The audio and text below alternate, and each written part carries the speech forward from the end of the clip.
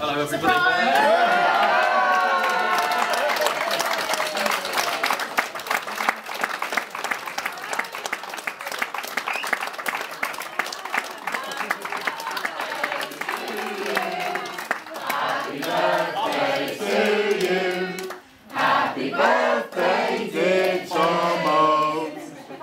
Happy birthday to you.